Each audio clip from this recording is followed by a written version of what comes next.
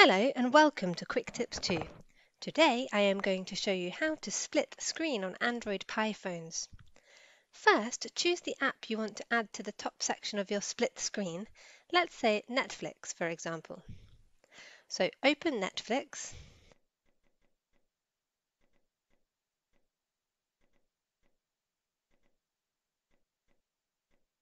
tap on the square icon on the bottom right side of the screen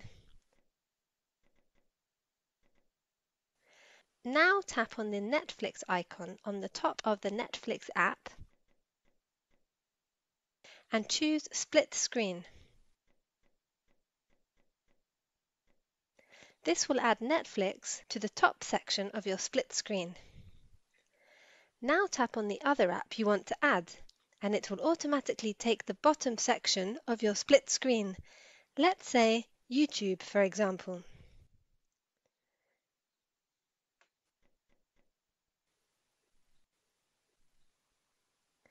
Now, from split screen mode, you can also tap on the Home button to minimize the bottom app and access other apps. Let's say we want to add Chrome.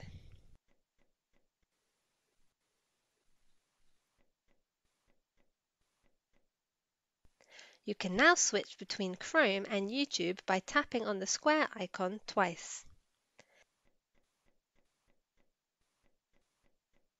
To get out of split screen, simply drag the border separating the two apps to expand the app that you want to keep in full screen, as illustrated.